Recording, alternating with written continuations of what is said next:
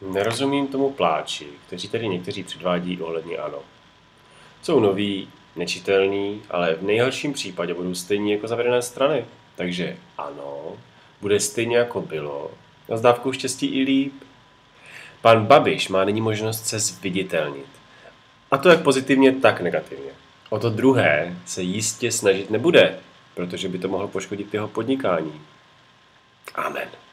A tě klid.